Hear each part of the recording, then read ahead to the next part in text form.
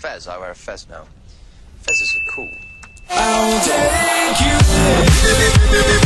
cool.